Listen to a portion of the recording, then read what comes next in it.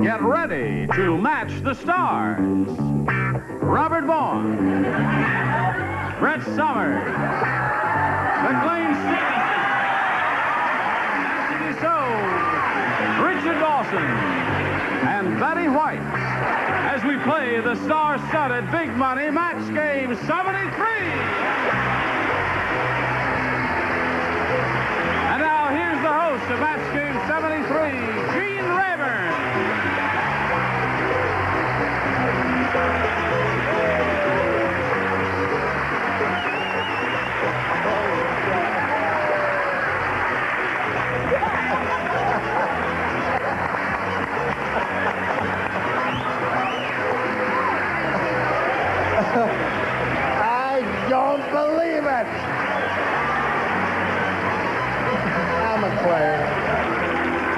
How's going, Gene? I know. I know you did. I had a little short of wardrobe this week. I tell you, the guys got tired of lending me stuff. Bob said, absolutely no more. This is it. Dickie said, forget it. The white tie was it. Now, this is it for me, folks. I got the... And I don't want my dress all sweated up. Well, you put, put the jacket on him there. I'll do the shirt, my shirt's uh, shoulder, my shirt. So I can't, can't even talk. Okay, I don't want to get it uh, sweaty. Excuse me. Can we get this... Uh... Fits pretty good. Beautiful. Beautiful. Okay. Gene, Dayton. Dayton Anderson, would you bring me another jacket from the dressing room, please, wherever you are? Hurry. Gene, Yes. we got to move on. I got to get him over to the Largo. Okay. let's let's welcome our two players, shall we? Ellen Hoey and Charlene Jameson. Charlene has won twelve hundred dollars. How about that? Terrific. That is terrific. And Ellen is challenging her. We finished round one, didn't we? And you just throw it on the set here. Oh, that's it. Just throw it over here. No, don't not on the floor. uh, Gene... You don't know. You never learned how to throw a jacket. Listen, could I wear that one? This one's a little itchy, man. All right, but it is, kind of a woolly... it's too itchy for you. Okay. All right, just slip that one out. Talk there. about no shame. Boy, you really do get them sweaty, don't you? Better Okay. with a tie. Goes better with the tie, yeah. As if he'd know. And as if, and as I was saying, Ellen was challenging Charlene and uh, seems to be doing well. Four to two at the end of round one. And ladies, will start round two right after we give these messages. All right, here we go, ladies. I'll push the button and we'll reveal the questions and ask our challenger, Ellen, to make a selection. B. B is what she wants. Last time out, you matched four celebrities. Now you'll be trying to match the other two. They are Robert and McLean. Yeah, frickin' frick. Dummy in no clothes.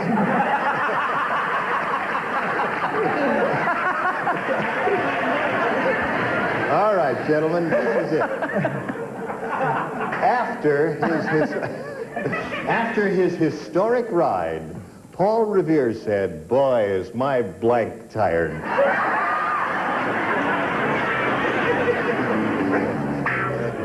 Paul Revere said that. Did you hear that, Ellen? Not quite. I will repeat it for your benefit.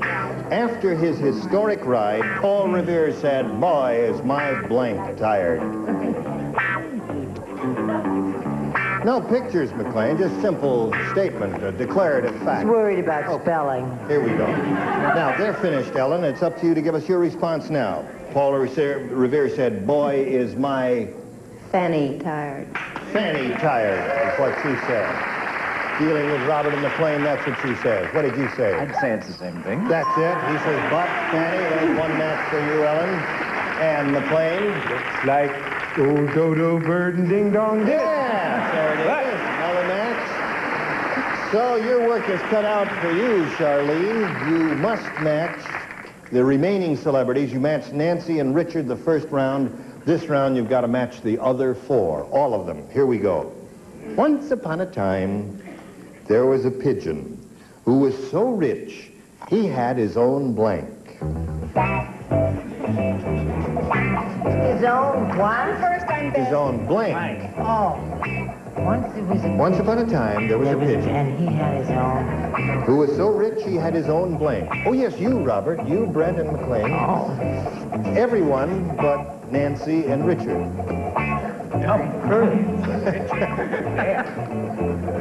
We're perfect. Bring a secretary up. Does anybody know where Goodwill is? Yes, I do. And I'm going to take you there because I know you could do an improvement. Okay, now, Charlene, once upon a time there was a pigeon who was so rich he had his own Apartment. Apartment. All right? One miss, and the game is over. Robert, Well, it is a pigeon's apartment. It's a coop. A coop. Does that match? Yes, it does. Okay, there's one match. Brett? I'm not sure whether this matches or not, but I assume it does. His own General Grant tomb. Not a match. So Ellen Hoey is the winner. Congratulations. Would you come around, please? Okay, Ellen, right here. Hundred dollars for you, and stand by for a moment. We've got to have a word or two with Charlene, who uh, will be leaving us now, but she'll be richer by one thousand two hundred dollars. Thank you very much, Charlene. Hope you enjoyed it. Bye. There goes Charlene. That's enough waving. Yeah, that's okay.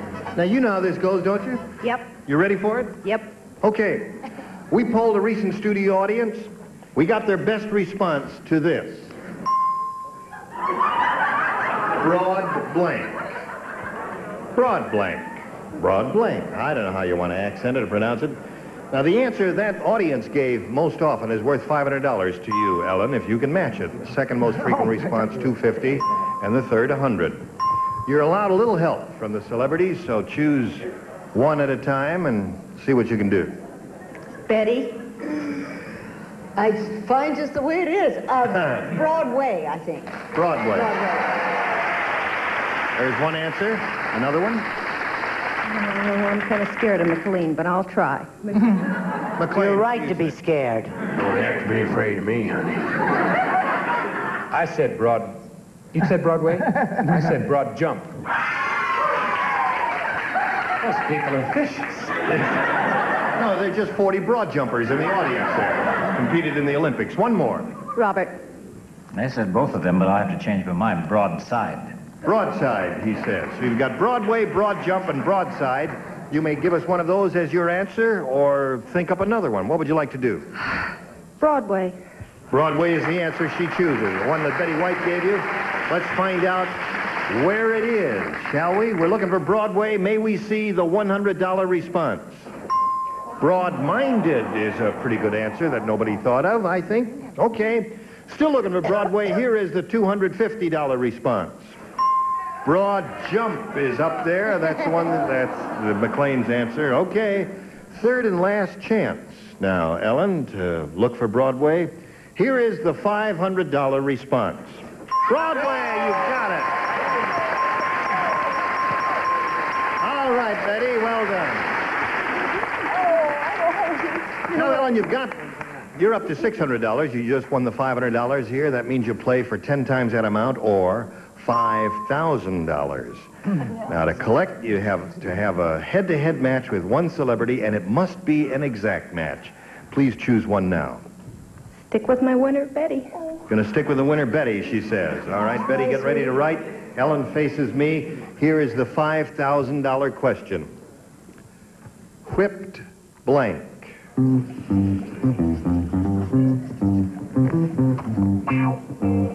All right, did the dinger sound? But she's ready anyway. Betty has finished her answer, and uh, there's the dinger, and now we ask for your response here. Whipped blank, Ellen. Cream? Cream is her answer. Cream seems to be the popular answer with the audience for $5,000. Betty, what have you got? Whipped cream! Whipped cream! Oh.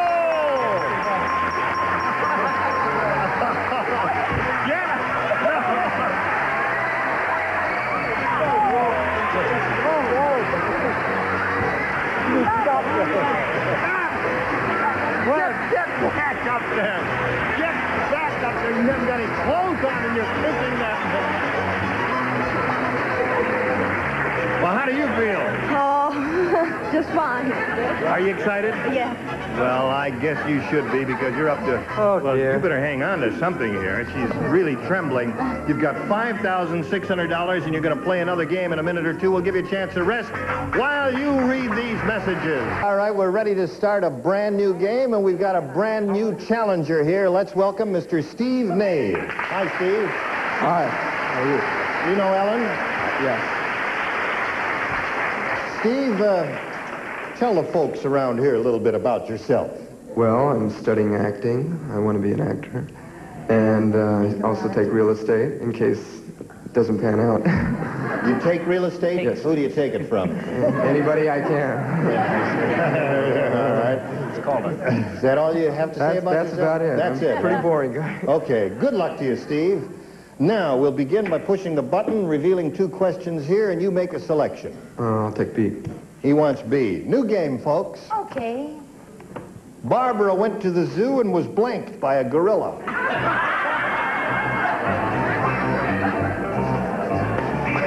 You hit my bursitis. Oh, I'm sorry. You hit it from me. Barbara went to the zoo and was blanked by a gorilla. I'm coming. All right, I won't watch if you'll. It If makes you... me so nervous. Okay, I'll stand over here while you're writing.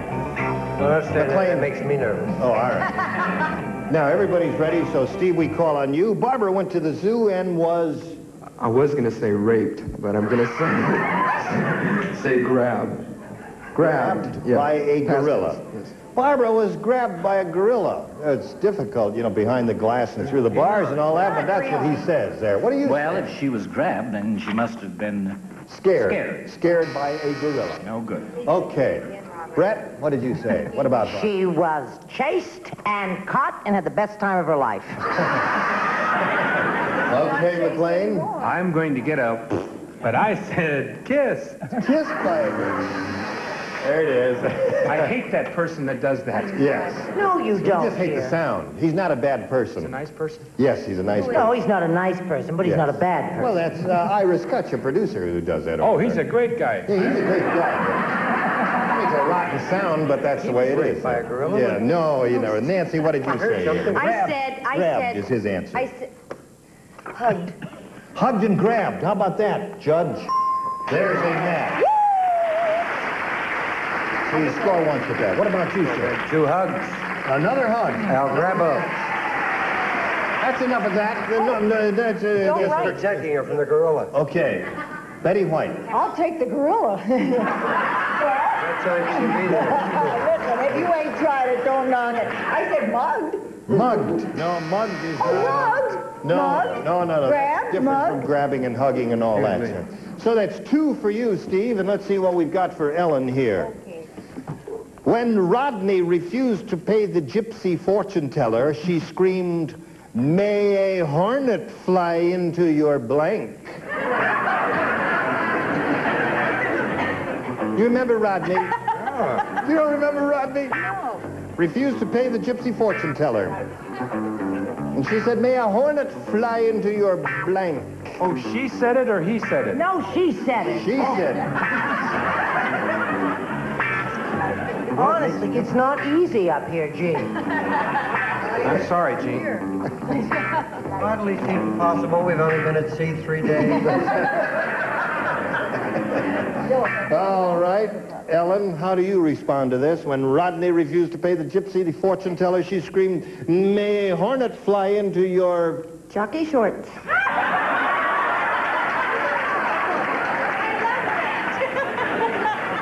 No wonder she won $5,600. Okay, she said jockey shorts. Well, fortunately, Dirty Ellen and I think alike. Drawers. There's a match. Well, I'll be darned. What do you say, Brett? I think Ellen is deranged, and I think Robert Vaughn is dumb. Underwear. That's another match. Join the club. Tell you what I think of Ellen.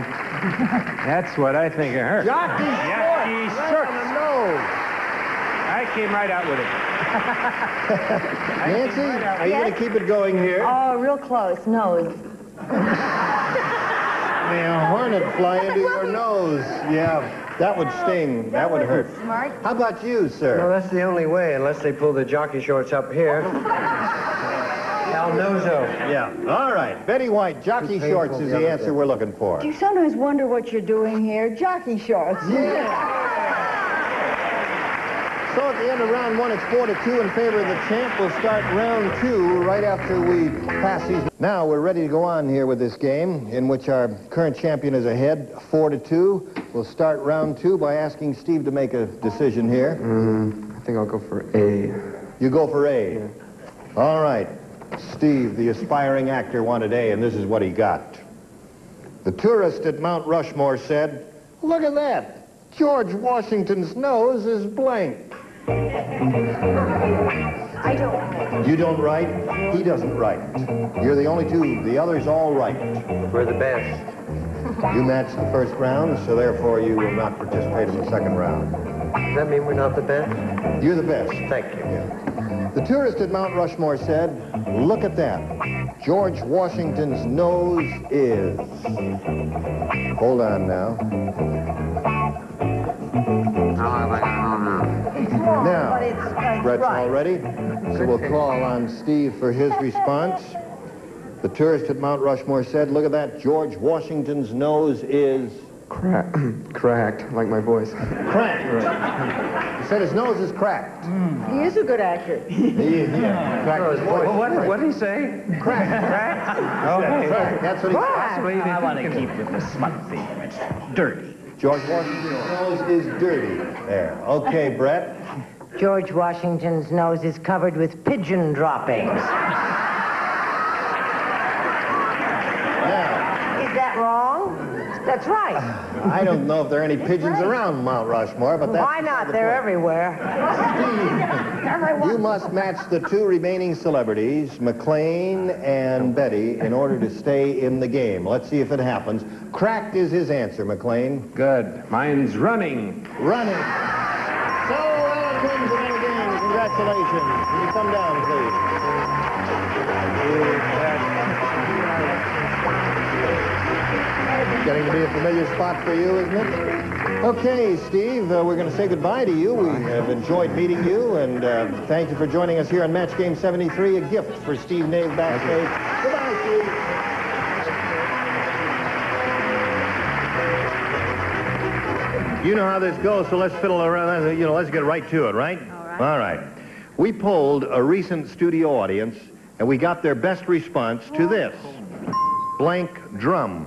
Now, the answer they gave most often is worth $500 to you if you can match it, 250 and 100 And a little help from the celebrities, if you please.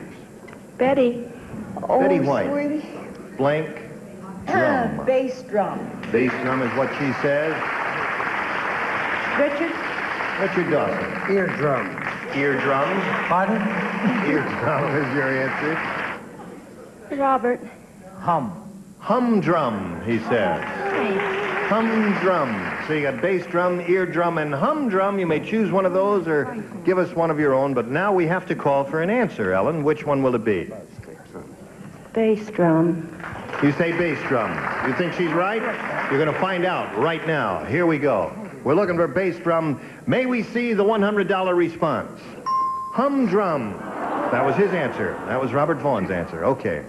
Now, we're still looking for bass drum. May we see the $250 response? Eardrum is up there. The one that Richard Dawson gave you. Pardon? Last chance for bass drum.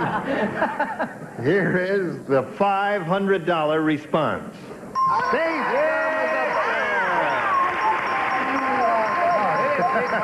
there. Congratulations.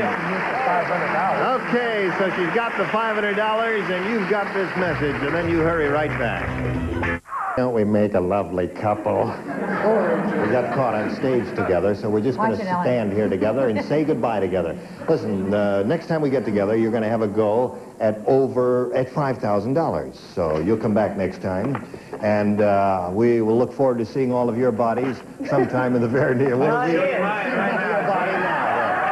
That's That's enough. Oh, McLean. I liked him better in We'll his see you jacket. on MASH and you here and you there, and we'll see all of you one place or another. That's it. Where? And Betty White, you're you're on the Mary Tyler Moore show. uh, Yes, Coming up very my soon, third right? one, Your yes. third one. Third one. Gee, that's terrific. And you she's very terrific on it.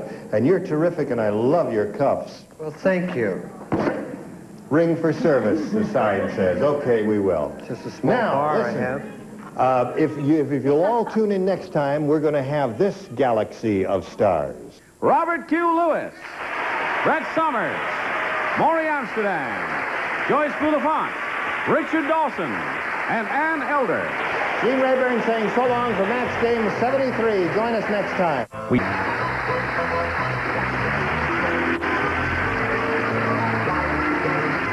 is Johnny Olson speaking for Match Game 73, a Mark Goodson, Bill Todman production.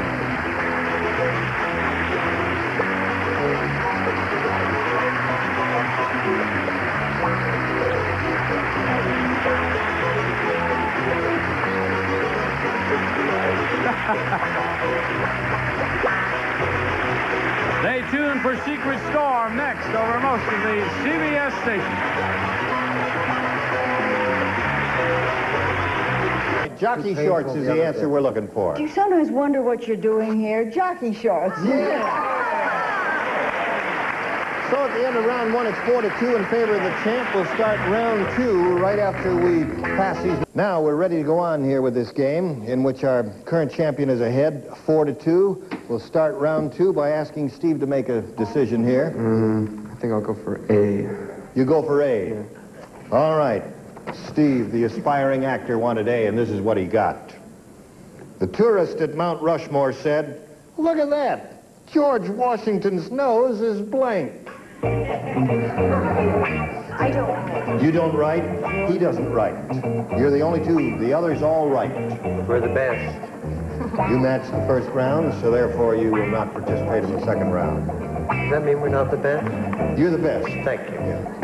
The tourist at Mount Rushmore said, look at that. George Washington's nose is. Hold on now. Now, Brett's all ready, so we'll call on Steve for his response. The tourist at Mount Rushmore said, look at that. George Washington's nose is Crack, cracked, like my voice. cracked. He said his nose is cracked. He is a good actor. He- yeah, cracked his voice. What, what did he say? Cracked. Cracked. That's what he said. Possibly. I want to keep with the smut theme. It's dirty. George Washington's nose is dirty. There. Okay, Brett. George Washington's nose is covered with pigeon droppings. Now, Is that wrong? That's right. I don't know if there are any pigeons around Mount Rushmore, but that's Why not? They're everywhere. You must match the two remaining celebrities, McLean and Betty, in order to stay in the game. Let's see if it happens. Cracked is his answer, McLean. Good. Mine's running. Running. So, Alan wins another game. Congratulations. Can you come down, please?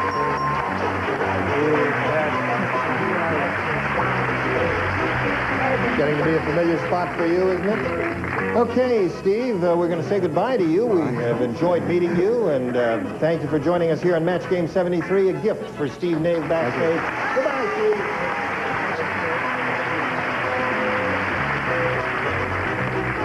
You know how this goes, so let's fiddle around. You know, let's get right to it, right? All right. All right.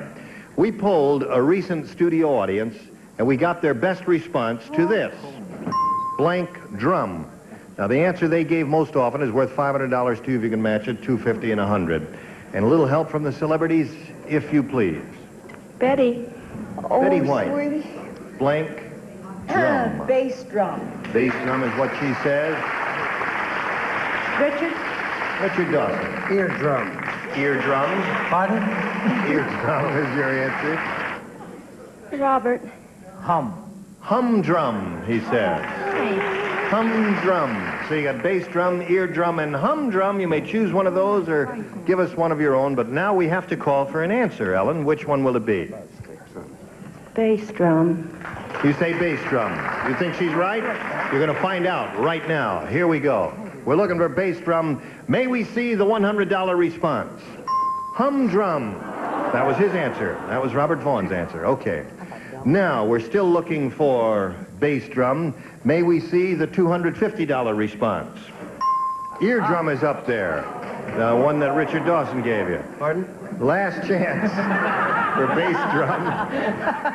Here is the $500 response. Bass drum is up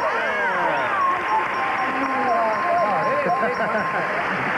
Congratulations. Okay, so she's got the $500 and you've got this message, and then you hurry right back. Don't we make a lovely couple? We got caught on stage together, so we're just going to stand here together and say goodbye together. Listen, uh, next time we get together, you're going to have a go at over at $5,000. So you'll come back next time, and uh, we will look forward to seeing all of your bodies sometime in the very near. We'll Oh, see- yeah. see your body now. That's enough. Oh, Miss I liked him better in We'll his see you jacket. on MASH, and you here, and you there, and we'll see all of you one place or another. That's it. Where? And Betty White, you're you're on the Mary Tyler Moore show. Uh, Yes, coming I'm up very doing my soon, third right? one, Your third one. Third one. Gee, that's terrific. And you, she's very terrific on it. And you're terrific, and I love your cuffs. Well, thank you. Ring for service, the sign says. Okay, we will. Just a small Now, bar listen. I have. Uh, if, you, if, if you'll all tune in next time, we're going to have this galaxy of stars. Robert Q. Lewis, Brett Somers, Morey Amsterdam, Joyce Bulifant, Richard Dawson, and Ann Elder. Gene Rayburn saying so long for match game 73. Join us next time. This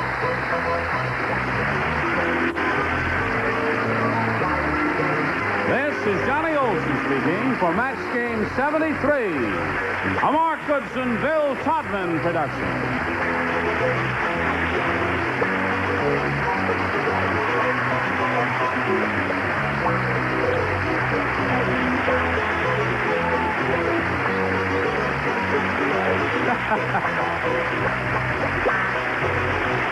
Stay tuned for Secret Storm next over most of the CBS stations.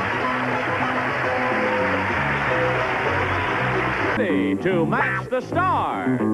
Bert Convy, Brett Somers, Charles Nelson Reilly, Lee Meriwether, Richard Dawson, and Gail Fisher as we play the star-studded Big Money Match Game 74. And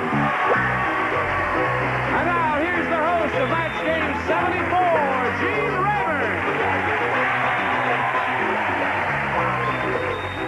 Hello, Johnny Olson. How? Thank you. Thank you, one and all. I guess everybody had a good day yesterday watching the uh, Rose Bowl parade on CBS and watching all the bowl games and all that. And now here we are into uh, where, where we are. Anyway, and they said it wouldn't last, and here we are at Match Game 74. And we thank you all for joining us, and you especially because we couldn't do it without you. You're a gifted what I bunch. found from you found a little year. heart at your chair. See how I feel about you? All right, let's say hello to our two players, Harry Reynolds and Paula Arbaugh. Hello, players. Harry's a current champ. He's won two games, has a total of $450 to his credit. How do you feel about that, Harry? Pretty good. Beating, losing. huh? Right. How do you feel about that, Paula? Well, he's got four, I got two. Now Well, I that's need right. is four, right? Right. And he needs none. You're going to put the evil eye on him. Mm-hmm. All right? Well, we're going to finish this game with round two, I guess it is, right after we pass along this message to you. Here we go with round two, folks. Going to finish this game. Final round. Paula, it's up to you to make a selection. A again. She wants A. Last time out, you matched Richard and Charles, so the two of you will not participate. Everyone else will, and this is it.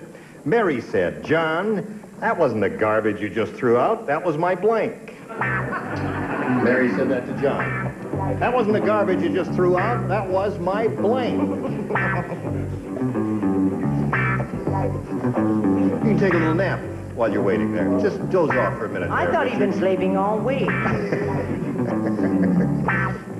Okay, I'm uh, Ready. I'm ready. here we go.